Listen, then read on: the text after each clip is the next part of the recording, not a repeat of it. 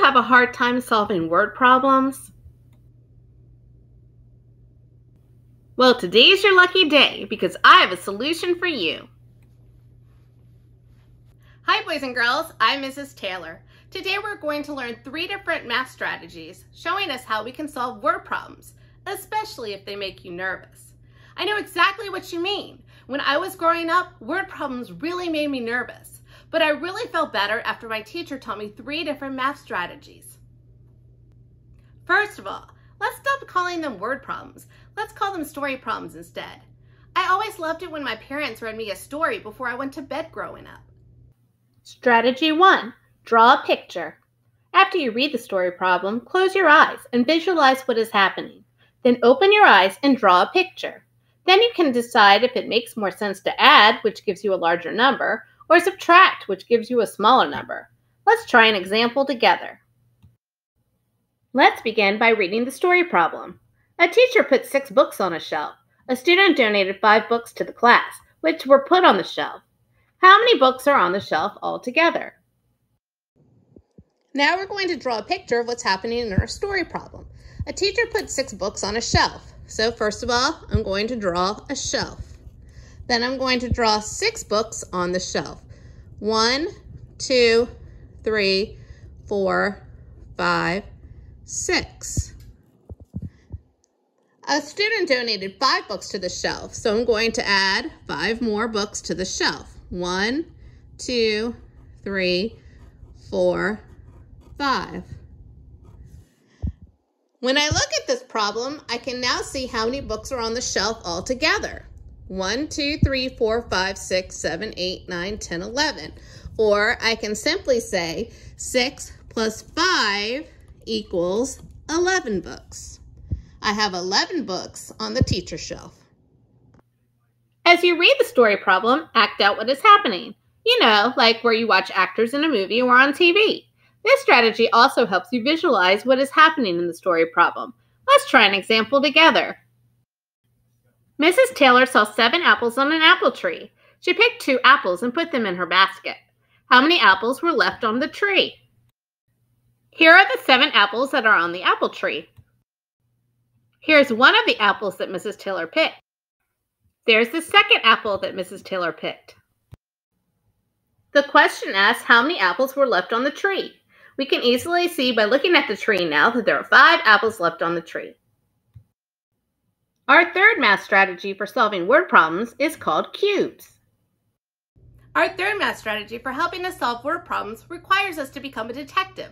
So grab a detective hat and a magnifying glass. There are five different things in word problems that you need to search for. Together, all of these items spell the word cubes. Let's begin by reading the word problem. On Saturday, I caught six fish. On Sunday, I caught four fish. How many more fish did I catch on Saturday than on Sunday? Now we become the detective that is going to search the word problem for different items. The first item that we're going to find is the C. C stands for circle the numbers. Notice how I circled the 6 and the 4 because those are the numbers that are represented in this word problem. U stands for underline the question. Search the story problem for the question. It's pretty easy to find. It ends in a question mark. Underline it so you know what to start thinking about. In this word problem, the question is, how many more fish did I catch on Saturday than on Sunday? B stands for box in the keywords. In this case, I drew a rectangle around how many more because how many more is the keyword that tells me I'm going to subtract in this particular problem. Here is a list of keywords that may be helpful for you to know.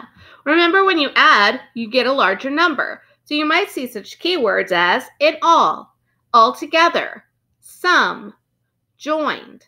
When we subtract, we're going to get a smaller number. You might see such keywords as are left, how many more, difference, went away. Keep in mind not all word problems use keywords. That is when you should act or draw a picture of what is happening in the story problem. E stands for evaluate and eliminate. When I'm thinking of the word evaluate, I might ask the question, what steps do I take to solve this problem? I can either add the two numbers together, 6 plus 4 equals 10, or I can subtract the two numbers together, 6 minus 4 equals 2. I have to evaluate or think about which one of those makes more sense. It doesn't make sense for me to say that I caught 10 more fish on Saturday than on Sunday when I only caught 6 fish on Saturday. So now I'm going to eliminate that option. When I think about the word eliminate, I'm going to ask the question, which answer choice can I eliminate or get rid of? In this case, I got rid of the 10 because it did not make sense to me. When I'm eliminating an answer, I might put an X over that problem. That keeps me from picking it later on. S stands for solve and check. Read the story problem one more time. Does your answer make sense? If it does, great. If it does not, then use a different strategy or ask your teacher for some help.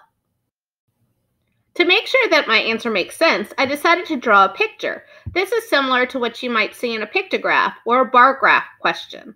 I started off with six fish on Saturday, and then I drew four fish for Sunday because that's how many fish I caught.